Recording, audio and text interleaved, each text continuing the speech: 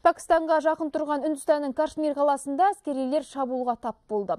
Арты қарулы қақтығыс қаласып үш адам қайтыс болды. Олардың екеуі үкімет әскері болса, үшіншісі бүлік шығарған тараптың өкілі.